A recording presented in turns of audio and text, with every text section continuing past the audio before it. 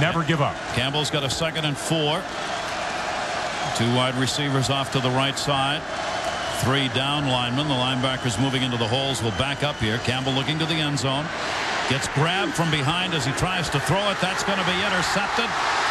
Tech's got it far side 30, 35, 40 down the sideline.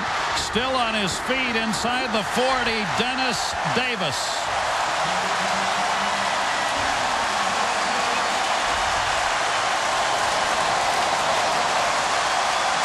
Georgia Tech is going to upset Auburn that's going to start the season 0-2. Going to get a couple celebration flags here. Jason Campbell was hounded all afternoon.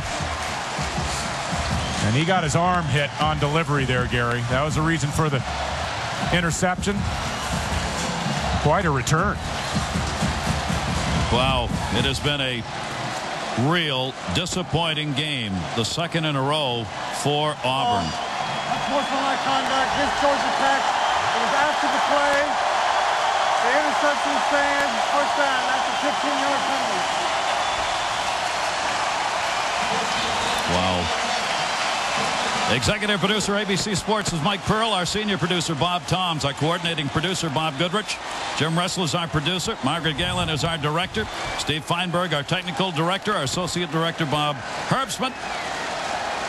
Behalf of all of our crew we thank you for joining us here and they'll be talking about this one for a while because Georgia Tech has just upset Auburn as they run off the final seven seconds 17 to 3.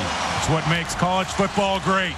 I mean, that's why they play these games and Reggie Ball a true freshman pulls off the upset.